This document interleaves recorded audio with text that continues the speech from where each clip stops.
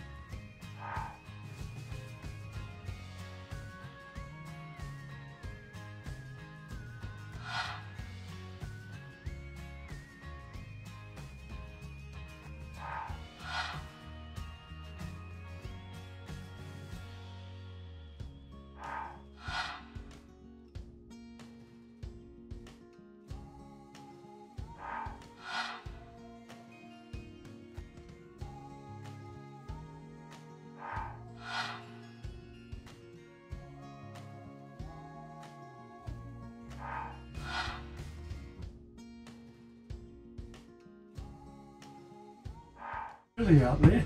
Yeah, oh goody, it's raining again. Must be about the fourth rain shower so far. Well, you wouldn't have thought it would take so long to do that.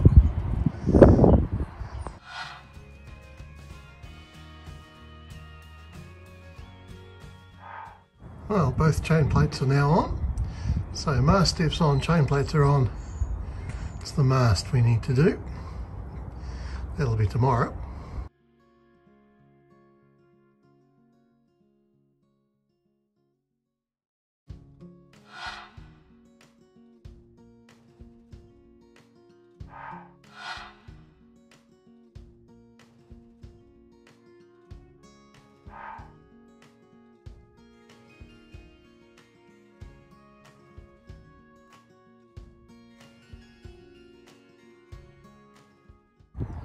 Uh, we're driving out the old rivets for the new exit box for the Gennaker Halyard. Right, Granddad's got the box. Uh, we're just uh, adapting the hole for the exit box and of course it started raining again.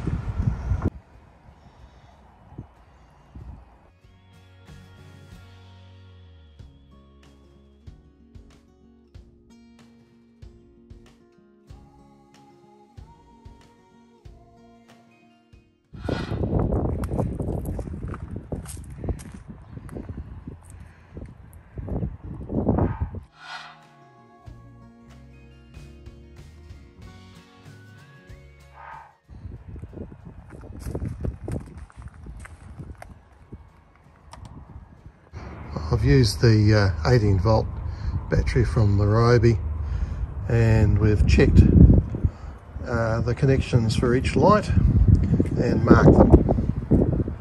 Right, well, we've joined all the wires up. So this is for the deck light and mast. Right, well the glue-filled heat shrink crimps have been heat shrunken and self-amalgamating tape to protect it inside the mast. Uh, put Duralac on the rivet just to give it corrosion protection against the carbon fibre. Uh, it's mono, so we should be fine anyway. Well, another rain squall come through, so we've retreated to the car until it passes. Well, the rain stopped, everything's wet. There's a surprise. Right, oh well, next job. Right, so here's the box of bits. And you can put, start putting some back on. Right, the mast base pin is in. We'll leave the kicker off, boom vang attachment off until it's on the boat. Well, between showers we got the jib halyard in. And after hiding in the car for a while, we'll pop the topping lift in. Nice new Dyneema or Spectra main halyard.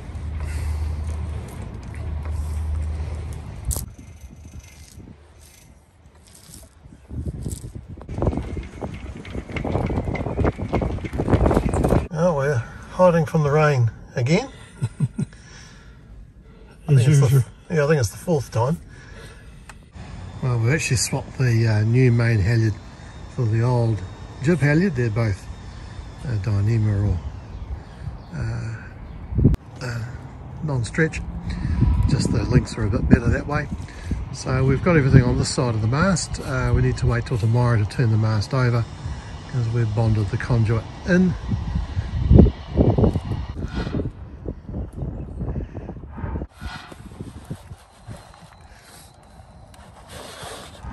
Uh, the sun might be out, but we're just sheltered from another squall. Just got to get the last little bit of tough track into the mast groove. We've only been out five minutes and there's another squall coming through. Right, well what we got it in, just in time for the rain. Back to the car. Okay, sun's out again, uh, gooseneck's in. Well, pin for gooseneck's in. The halyards are all in apart from the one that goes past where we put the sealant in and that's it for the day. Tomorrow we roll the mast over finish the other side.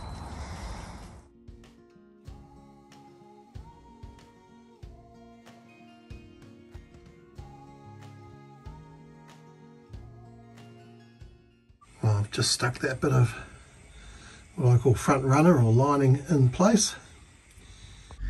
Oh, let's start this bit here.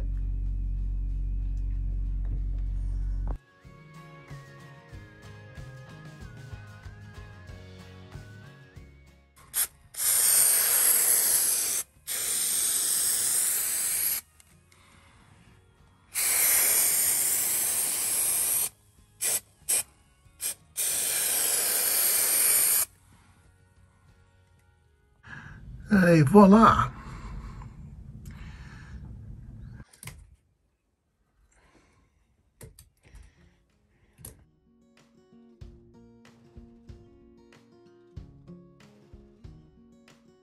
Well, it was uh, sunny when I left home, but uh, we've got another rain squall coming through.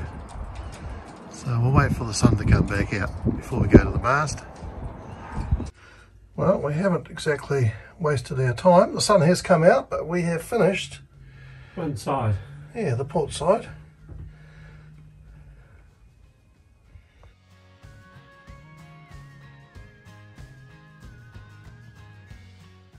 Well, we got salty old sea dog on the go again, so we've just uh, masked up for when we use the Sikaflex 291 uh, to bond this in. And the job now is to roll the mast over. I just use masking tape to attach the lines to the mouse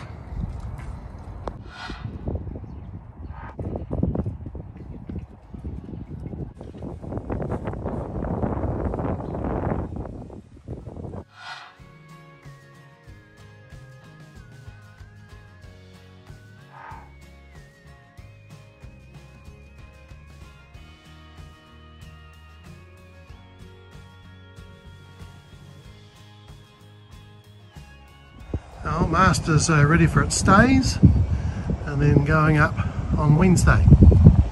Crane's ordered.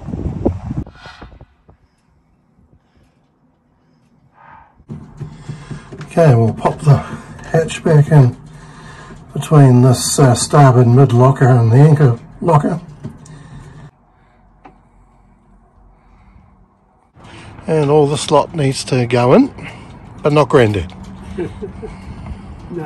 It all fits in. Granddad didn't think it would.